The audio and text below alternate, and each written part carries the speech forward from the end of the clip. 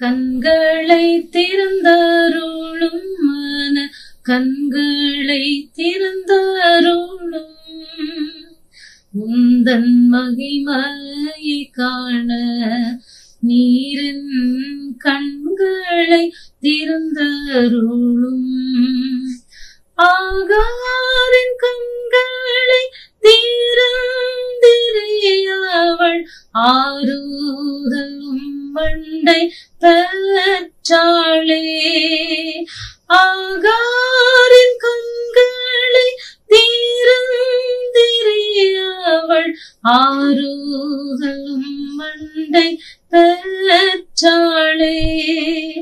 ஆதரை மீதியில் ஆறுதலின்றியே அலைவோரின் கண்களை திறந்தருளும் ஆதரை மீதியில்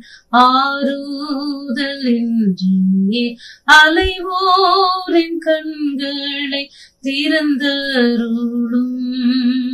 கண்களை திறந்தருளும் மன கண்களை திறந்தருளும்.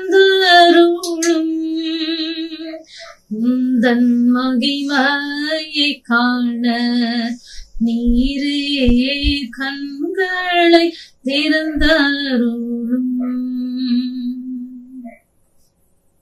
ஆண்டவரும் ரட்சகருமாக இயேசு கிறிஸ்துவின் இனிய நாமத்திலே என்னை பார்த்து கொண்டிருக்கிற உங்க ஒவ்வொருவருக்கும் அன்பின் வாழ்த்துக்களை தெரிவித்துக் கொள்கிறேன்.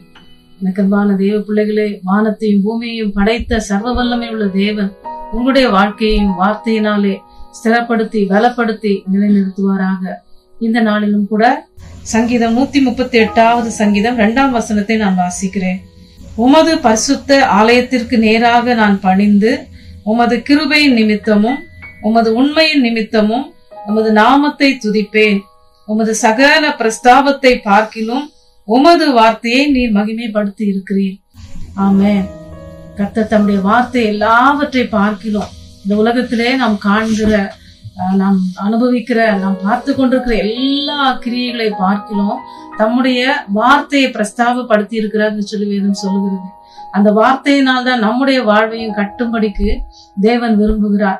இந்த நாளிலும் கூட நீங்கள் வார்த்தைக்கு செவி கொடுத்து கத்துடைய வார்த்தையின்படியே உங்கள் வாழ்வை கட்ட ஒப்பு கொடுக்கும் பொழுது நிச்சயமாகவே உங்களுடைய வாழ்விலே கத்தர் மகிமைப்பட வல்லவராயிருக்கிறார். இந்த வார்த்தையை பார்க்கும் பொழுது எல்லாவற்றை பார்க்கிறோம். கத்தர் தம்முடைய வார்த்தையை பிரஸ்தாபப்படுத்தி இருக்கிறார் சொல்லி பார்க்கிறோம். எத்தனை எத்தனை வாக்குத்தத்தங்களை உங்களுக்காக எனக்காக தேவன் கொடுத்திருக்கிறார். எனக்கு அன்பு தேவ பிள்ளைகளை அத்தனை வாக்குத்தத்தங்களையும் நாம் சுதந்திரித்துக் கொள்வதற்காகவே மீட்பராய் ரட்சகராய் இந்த உலகத்திற்கே வந்தார் அல்லவா? அவருடைய வார்த்தை ஒரு நாளும் அது மாறாததா இருக்கிறது. அவர் நேற்றும் இன்றும் என்றும் மாறாத தேவன் நம்முடைய சொந்த ரத்தத்தை சிந்தி மீட்பினாலே நம்ம- நம்முடைய வாழ்வுக்கு தேவையான அத்தனை காரியங்களையும் செய்து முடித்திருக்கிறார். நாம் பாவிகளா இருந்த பொழுது நம்மிடத்திலே அன்பு கூர்ந்து இந்த உலகத்திலே வந்து தன்னுடைய ஜீவனை பலியாக தந்த தேவன் மற்ற எல்லா ஈவுகளையும் நிச்சயமாய் அருளி செய்வார் என்று சொல்லி நாம் விசுவாசிக்கும் பொழுது நம்முடைய வாழ்க்கையிலே நிச்சயமாகவே அவருடைய மகிமையை நாம் பார்க்க முடியும். ஒன்று ராஜாக்கள் பதிமூன்றாம் அதிகாரம் இரண்டாம் வசனத்தை வாசிக்கிறேன். அந்த பலிபீடத்தை நோக்கி பலிபீடமே பலிபீடமே இதோ தாவீதின் வம்சத்தில் யோசியா என்னும் பேருள்ள ஒரு குமாரன் பிறப்பான். அவன் உன்மேல் தூபம் காட்டுகிற மேடைகளின் ஆசாரியர்களை உன்மேல் பலியிடுவான். மனுஷரின் எலும்புகளும் உன்மேல் சுட்டரிக்கப்படும் என்பதை கத்தர் உரைக்கிறார் என்று கத்துடைய வார்த்தையை கூறி அன்றைய தினம் அவன் ஒரு அடையாளத்தையும் சொல்லி இதோ இந்த பலிபீடம் வெடித்து அதன் மேலுள்ள சாம்பல் கொட்டுண்டு போம். கத்தர் உரைத்ததற்கு இதுவே அடையாளம் என்றான். கத்துடைய வார்த்தையை இவ்விதமாய் பேசின ஒரு தீர்க்கதரிசி பாருங்க. அவர் சொல்லும் பொழுதே கத்தரால் அனுப்பப்பட்ட அந்த தீர்க்கதரிசி சொல்லும் பொழுதே அந்த காரியம் நடைபெறுகிறது. அப்பொழுது ராஜா அவன் மேல் கோபம் கொண்டு தன்னுடைய கையை அவன் மேல் நீட்டுகிறான் பாருங்க. அப்போது நீட்டும் பொழுது அந்த கை அப்படியே நீட்டப்பட்டிருக்கிறது. அது மடக்க முடியாமல் நீட்டப்பட்டிருக்கிறது. அதற்கு பின்பு அவன் அந்த தீர்க்கதரிசனத்தை கேட்கும் பொழுது அவர் அவனுக்காய் வருந்தி வேண்டிக் கொண்ட பிறகு அவருடைய கை சுஸ்தமாகிறது இவ்வளவு வல்லமையான வார்த்தைகளை பேசக்கூடிய ஒரு தீர்க்கதரிசி செய்த ஒரு காரியத்தை தான் நாம் பார்க்க போகிறோம். கத்துடைய வார்த்தையை பெற்ற மகன் ஆனால் கத்துடைய வார்த்தைக்கு விரோதமாய் அதாவது விரோதமா என்று சொல்ல முடியாது. அது கத்துடைய வார்த்தை போலவே வந்தது. அதை அவன் நம்பினதுனாலே அவருடைய வாழ்க்கையில நடந்த காரியங்களை இந்த ஒன்று ராஜாக்கள் பதிமூன்றாம் அதிகாரம் முழுவதும் நாம் வாசித்து பார்க்கும் பொழுது அது தெரியும் பாருங்க. இந்த தீர்க்கதரிசி தன்னுடைய வேலைகளை முடித்து திரும்பும் பொழுது கத்தர் சொல்லியிருந்தபடியே ராஜா கூப்பிடுறார் பாருங்க. என் வீட்டுல வந்து அப்பம் பூசின்னு சொல்லும் பொழுது அந்த தீர்க்கதரிசி அதை செய்ய மாட்டார். ஏன்னா கத்தர் அவர்கிட்ட சொல்லியிருக்கிறாரு நான் போகிற இடத்துல அப்பம் பூசியாமலும் வந்த வழியே வராமலும் நான் இருக்க வேண்டும்னு சொல்லி கத்தர் எனக்கு சொல்லி இருக்கிறார் என்று சொல்லி அந்த தீர்க்கதரிசி கத்தருடைய வார்த்தைக்கு கீழ்ப்படிந்து அங்கே சாப்பிடாமல் அவர் போகிறார். போகிற வழியில இன்னொரு ஒரு தீர்க்கதரிசி அவர் மீது பொய்யின் ஆவி இறங்கிற்று என்று சொல்லி பதினெட்டாவது வசனத்துல பார்க்கிறோம். அந்த பொய் சொன்ன ஆஹ், பொய் சொல்லும்படிக்கு அந்த தீர்க்கதரிசி என்ன பண்றாருன்னா இந்த மனுஷனுக்கு எதிராக போகிறார். என் வீட்டுல வந்து நீ அப்பம் புசிக்கணும். நீ வேண்டும் என்று சொல்லி கூப்பிடும் பொழுது அந்த தேவனுடைய வார்த்தையை பெற்ற அந்த தீர்க்கதரிசி என்ன பண்றாருன்னா நான் வரக்கூடாது. கத்தர் எனக்கு இப்படிப்பட்ட வார்த்தைகள் எல்லாம் சொல்லி இருக்கிறாரு நான் வரமாட்டேன்னு சொன்னாலும் கூட அந்த தீர்க்கதரிசி சொல்றாரு கத்து தான் என்னை அனுப்புனாரு. நீ நான் கத்துடைய வார்த்தையை பெற்றுதான் உன்னை வந்து கூப்பிடுறேன்னு சொல்லும் பொழுது அந்த வயதான அந்த தீர்க்கதரிசி பின்னாடி இந்த தேவனுடைய மனுஷன் போய் விடுவார் பாருங்க.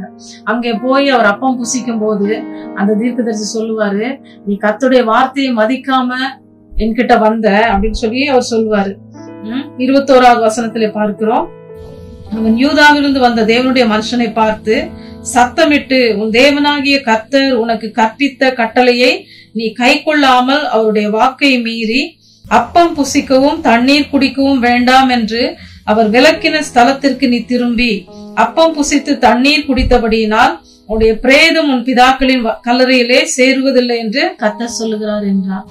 இன்றைக்கு பாருங்க கத்துடைய வார்த்தையை பெற்ற ஜனம் அநேக முறை கத்துடைய வார்த்தை நமக்கு நலமாய் வந்திருக்கிறது. ஆனால் அவருடைய கற்பனைகளை நாம் மறக்கும் பொழுது உலக காரியங்களை நம்பும் பொழுது உலக பேச்சுகளை நம்பும் பொழுது உலக சூழ்நிலைகளை நம்பும் பொழுது கத்துடைய வார்த்தையை மறந்து போகிறவர்களாய் காணப்படுகிறோம். இந்த இடத்துல நடந்தது போல நமக்கு இன்றைக்கு நடக்கவில்லை. கத்துடைய கிருபையினாலே நாம் பிழைத்திருக்கிறோம். இங்கே பார்ப்பீங்கன்னா தொடர்ந்து அந்த மனுஷன் இதை சொன்ன பிறகு அந்த கத்துடைய வார்த்தையை ஆஹ், பெற்ற அந்த தேவ மனுஷன் தன் வழியை கடந்து போகிறான் பாருங்க. போகும் பொழுது அந்த இடத்துல சிங்கம் வந்து அவனை பீறி போடுகிறது. இது எவ்வளவு ஒரு துக்கமான ஒரு காரியம் பாத்தீங்களா ஆனா கத்துடைய கிருபை அவருடைய வார்த்தையை மறந்தாலும் கூட எத்தனையோ முறை அவர் திரும்ப திரும்ப நம்ம இழுத்து கொண்டு தன்னுடைய அன்பினாலே அன்பின் கயிறுகளாலே கட்டி இழுத்து நமக்கு அவருடைய வாக்கை நிறைவேற்றுவதற்கு வல்லவராய் இருக்கிறார். அவருடைய வார்த்தையை தொடர்ந்து நம்ப வேண்டும் பாருங்க. உலக சூழ்நிலைகள் மாறும் பொழுது நாமும் அதை மாற மாற்றத்தோடு கூட அப்படிப்பட்ட சூழ்நிலை நாம் பார்க்க கூடாது சங்கீதக்காரன் சொல்லுகிறார் அல்லவா? புனிதனுக்கு அவர் புனிதராகவும் மாறுபாடுள்ளவனுக்கு அவர் மாறுபடுகிறவராகவும் தோன்றுவார் என்று சொல்லப்பட்டிருக்கிறது. அப்ப ஏன் வேதனை ஏன் கண்ணீர் ஏன் பாரங்கள் ஏன் துக்கங்கள் என்று பார்க்கும்போது கத்தர் மாறவில்லை அவருடைய வார்த்தைகள் ஒரு நாளும் மாறவில்லை. மீட்கப்பட்ட ஜனத்திற்கு அவர் கொடுத்திருக்கிற மீட்பு அது உண்மை. அது என்றென்றைக்கும் மாறாது. அந்த மீட்பின் மூலமாய் பாவ மன்னிப்பு பரிசுத்தம் சுகம் நல்வாழ்வு என்று சொல்லி அநேக காரியங்களை அதுக்குள்ளே அடக்கி மீட்பை நமக்கு கொடுத்திருக்கிறார். ஆனால் நாம் மாறும்பொழுதுதான் அது அவரை மாறுபடுகிறவராக நாம் காண்கிறோம். எனக்கு அன்பு தெய்வ பிள்ளைகளை இந்த நாளிலும் கூட கத்துடைய வார்த்தை உங்களுக்கு நேராக வருகிறது. உங்கள் முந்தின சீரை பார்க்கலும் கத்த நச்சீர் உண்டாக செய்வேன் என்று சொல்லுகிறார். உங்களுடைய சீர் எப்படிப்பட்டதா இருந்தது என்று சொல்லி உங்களுக்கு தெரியும். அந்த சீரை பார்க்கிலும் நான் நற்சீர் உண்டாக செய்வேன் என்று சொல்லி இந்த நாளிலே சொல்லுகிறார். இந்த வாழ்க்கை இந்த வார்த்தையை நீங்கள் தொடர்ந்து விசுவாசிக்கும் பொழுது நிச்சயமாகவே சூழ்நிலை எப்படிப்பட்டதா இருந்தாலும் தேவன் அதை மாற்ற வல்லவராய் இருக்கிறார் யோசேப்பை குறித்து பார்க்கிறோம் அல்லவா? அவருடைய தகப்பனுடைய வீட்டிலே ஒரு செல்ல பிள்ளையா யோசிப்பு வளர்கிறான் அவனுக்கு ஒரு அந்த அரிக்கட்டுகளை கட்டும் பொழுது ஒரு தரிசனம் உண்டாகுது பாருங்க. அந்த தரிசனத்திலே தன்னுடைய கட்டுகள் நிமிர்ந்திருக்க மற்ற எல்லாருடைய கட்டுகளும் அவனை வணங்கி சுற்றி நிற்கிறது என்று சொல்லி அவன் காண்கிறான். அநேக உபத்திரவமான சூழ்நிலைகள் மத்தியிலே போகிறான் பாருங்க. இதை சொல்லும் பொழுதே குடும்பத்தாரால் பகைக்கப்படுகிறான். அதற்கு பின்பதாய் பலவிதமான பாடுகள் சிறை அனுபவங்கள் போத்திபாரின் வீடு பார்வோனின் வீடு சிறைச்சாலை என்று சொல்லி பல இடங்களுக்குள்ளே பல மாறுபட்ட சூழ்நிலைகளை யோசித்து சென்று கொண்டே இருந்தாலும் கூட கர்த்தர் தனக்கு கொடுத்த சொப்பனத்தை அந்த தரிசனத்தை அவன் மறக்கவே இல்லை. நாம் இன்றைக்கு தேவனுடைய வார்த்தையை பெற்ற ஜனங்களா இருக்கிறோம். நிச்சயமாக வார்த்தை ஒவ்வொரு நாளும் அது பேசிக்கொண்டே தான் இருக்கிறது. உங்களை ஆற்றும்படிக்கு தேற்றும்படிக்கு ஆசீர்வதிக்கும்படிக்கு உங்களை வளர்க்கும்படிக்கு இந்த உலகத்திலே பெரியவர்களாய் நிறுத்தும்படிக்கு அத்துடைய வாக்கு தத்துவம் ஒவ்வொரு நாளும் அது பேசிக்கொண்டே இருக்கிறது. அந்த வார்த்தைகளை கேட்கிறவர்களாய் மாத்திரம் நாம் இராமல் எந்த விதமான சூழ்நிலையிலும் அந்த வாக்குத்தத்தம் எனக்குரியது என்று சொல்லி நாம் உரிமை பாராட்டும் பொழுது நம்முடைய ஜீவியத்திலே கத்த கிரியை செய்ய வல்லவராய் இருக்கிறார் உங்களுடைய அத்தனை சூழ்நிலைகளையும் மாற்ற தேவாதி தேவன் வல்லவராய் இருக்கிறார் ஒருபோதும் அவர் வாக்கு மாறாத தேவன். சூழ்நிலைகள் மாறலாம் காரியங்கள் மாறலாம். ஆனால் கத்துடைய வார்த்தை ஒருபோதும் மாறுவதே இல்லை. வானமும் பூமியும் ஒழிந்து போனாலும் அவருடைய வார்த்தை என்றைக்கும் மாறுவதில்லை என்று சொல்லி வேதம் சொல்லியிருக்கிறது. அப்போ இன்றைக்கு காண்கிறபடி அவர் உண்டாக்கின அத்தனை காரியங்களும் இந்த உலகத்திலே அப்படியே இருக்கிறது பாருங்க. அவருடைய வார்த்தையினால் உண்டாக்கப்பட்ட ஒவ்வொரு இயற்கையும் சூரியனும் சந்திரனும் நட்சத்திரங்களும் பூமியும் அப்படியே இருக்குது. அப்ப இதெல்லாம் உள்ளளவும் என்னுடைய வார்த்தை ஒரு நாளும் மாறாது என்று சொல்லி தம்மால் தெரிந்து கொள்ளப்பட்ட பிள்ளைகளை பார்த்து கத்து சொல்லுகிறார். அவர் தம்மால தெரிந்து கொள்ளப்பட்டவருடைய பிள்ளையுடைய விஷயத்திலே அவர் நீடிய பொறுமையுள்ளவராய் இருந்து இரக்கத்தையும் உடன்படிக்கையும் காக்கிற மகத்துவமும் பயங்கரமான தேவனாய் இருக்கிறபடினாலே எனக்கு அன்பு தேவ பிள்ளைகளை நீங்கள் உங்களுக்காய் கொடுக்கப்பட்ட ஒவ்வொரு வார்த்தையும் நம்புங்கள். நீங்க கத்தரால் ஆசிர்வதிக்கப்பட்ட ஜனம் அவரால் தெரிந்து கொள்ளப்பட்ட ஜனம் நீங்கள் ஒருபோதும் கைவிடப்பட்டு போவதே இல்லை. இன்றைக்கு இருக்கிற கடன் பிரச்சனை இன்றைக்கு இருக்கிற வியாதி இன்றைக்கு இருக்கிற பலவீனத்தை பார்த்து நீங்கள் ஒரு நாளும் சோர்ந்து போகக்கூடாது. கத்தர் எனக்கா யாவும் செய்து முடிப்பார் என்கிறதான மேலான விசுவாசம் உங்களுக்குள்ளே பெருகும் பொழுது நிச்சயமாகவே இன்றைக்கு நீங்கள் பார்த்து கொண்டிருக்கிற தரித்திர நிலைமைகள் மாறும். இன்றைக்கு நீங்கள் பார்த்து கொண்டிருக்கிற குழப்பத்தின் சூழ்நிலைகள் மாறும். மாறாத காரியங்களை மாற பண்ணுவதற்கு தேவன் வல்லவராய் இருக்கிறார் ஏன் இந்த மாற்றங்கள் என்றால் நம்ம கத்துடைய வழிகளை கைக்கொள்ளாமல் கொஞ்சம் கொஞ்சமாய் அவரை விட்டு விலகி போகும் பொழுது எல்லாம் கிடைக்கும் பொழுது மனுஷனுக்கு தேவனை தேடுகிற உணர்வு அதிகமா இருக்கிறது இல்ல. நாம் எப்படிப்பட்ட தேவனால் அடைக்கப்பட்டவர் என்று சொல்லி நாம் யோசித்து பார்க்க வேண்டும். ஒவ்வொரு நாளும் அவருடைய வழிகளை கை கொள்ளும் பொழுது இந்த கற்பனைகளை கை கொள்ளும் பொழுது நிச்சயமாகவே கத்தருடைய அந்த பெரிய மகிமையை நம் வாழ்க்கையில தேவன் நிறைவேற்ற வல்லவராய் இருக்கிறார். இந்த தீர்க்கதரிசிக்கு நடந்தது போல இன்றைக்கு நடக்கிறது இல்லை. ஏனென்றால் தேவனுடைய வார்த்தை நம்ம மேல மிகவும் அது ஆஹ், அன்புள்ள வார்த்தையை கொடுத்திருக்கிறார் பாருங்க.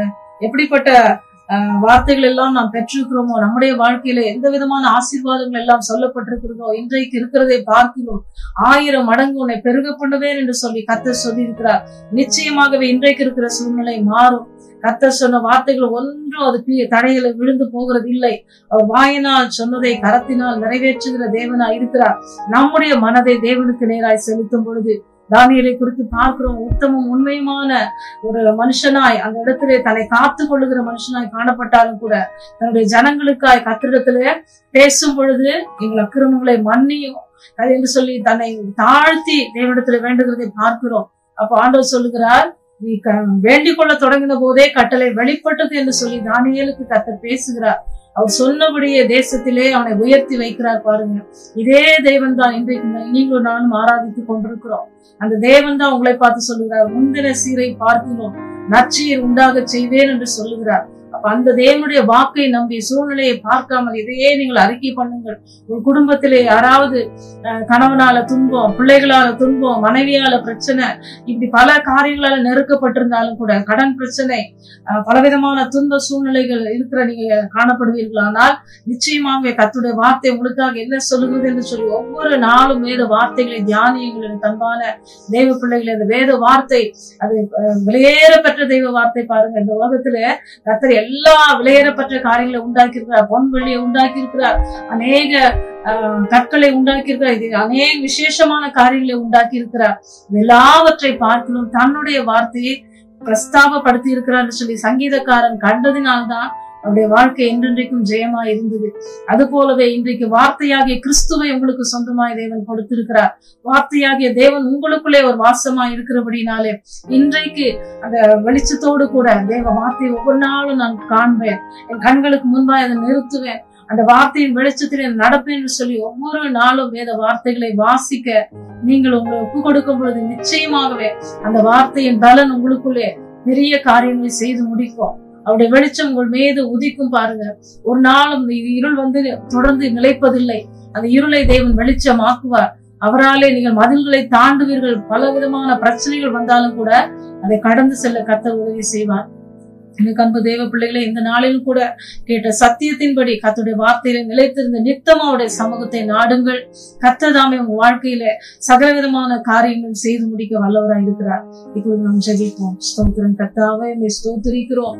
அன்பின் பரலோக பிதாவே உமக்கு நன்றி ஆண்டவரு. ஆமேனப்பா நீர் எங்களுக்கு வாயினால் சொன்னதை கரத்தினால் நிறைவேற்றுகிற தேவனா இருக்கிறீர். இந்த வழியில ஒரு விசையா எங்களை தாழ்த்துகிறோம் வெறுமையாக்குகிறோம் கத்தாவே தேவனுடைய பரிபூர்ண கிருபைகள் எங்களுக்காய் கடந்து வந்து கொண்டிருக்கிறது. பார்த்து கொண்டிருக்கிற ஒவ்வொரு பிள்ளைகளுக்கும் நீ கொடுக்க போகிற பரிபூர்ண கிருபைகளுக்காக உமக்கு நன்றி செலுத்துகிறேன். ஒவ்வொருடைய வாழ்க்கையிலையும் நீர் தாமே ஆமே ஆண்டவரே பிரசன்னராகி ஒவ்வொருடைய வாழ்க்கையுடைய குறைவுகளை நிறைவாக்கி உடைய மகிமையின் ஐஸ்வர்யத்தினாலே நிறைவாக்கி வழி நடத்துவீராக. அன்பு கரத்தில் ஒப்பு கொடுக்கிறேன். உடைய நாமத்தை பற்றி கொண்டு உமையே சார்ந்திருக்க கிருவை தந்து நடத்தும் துதிகன மகிமை உமக்கே செலுத்துகிறேன். இப்பரேசுவின் நாமத்தில் வேண்டுகிறேன். பரலோகத்திலாவே ஆமேன். God bless you.